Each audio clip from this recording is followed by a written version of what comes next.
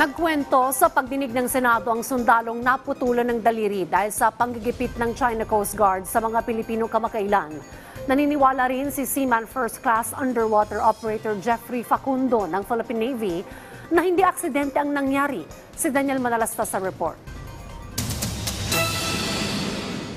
Sa pagdinig sa Senate Committee on Foreign Relations, mismong si Seaman First Class Underwater Operator Jeffrey Facundo ng Philippine Navy ang nagdetalye kung paano siya na-injured sa nangyaring insidente sa Ayungin Shoal. Kung matatandaan, si Facundo ang naputulan ng daliri nang magkaroon ng pagigipit na ginawa ang China Coast Guard sa ating tropa. Yung rib po nila, ma'am, nung unang bangga po sa atin, ito yung rib natin, ma'am, ito yung rib nila. Unang bangga po, hindi siya ganong belo. So, gumano lang yung rib, ma'am. Hindi pa ako nadali nun. Ngayon, nung bumuelo, ma'am, kumuha ng ng belo. Vuelo. Tapos, yun, ano kami, ma'am, binangga kami. Ah, tatlo po kami nasa harapan, baw, baw ma'am. Tatlo. Ako yung isa kaliwa. Yung dalawa ko pong kasama, ma'am, nasa harapan din. Isa sa harap, yung isa sa kanan po. Ngayon, yung rib ng kalaban, ma'am, dito sa kaliwa, Oo. umangat po, ma'am. Pumatong sa rib natin. Tapos yung kill niya, yung ilalim po na matulis Right. na nung pagbangga po na ano pa ako out of balance na, dap- na tumba.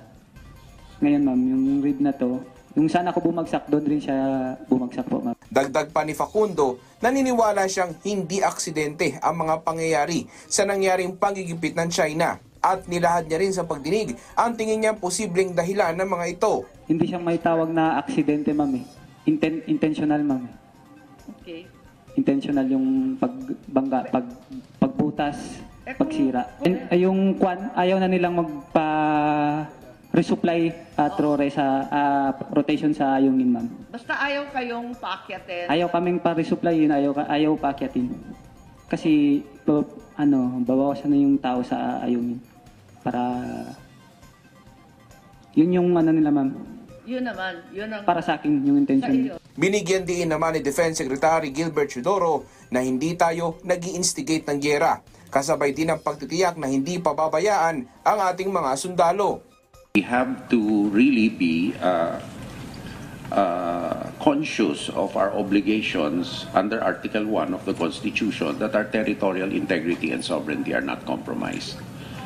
And uh, we're playing a very, very delicate balance here uh, between uh, not compromising our sovereignty and sovereign rights through acquiescence or any form of permission seeking or countenancing by another party with balancing the safety of our our people.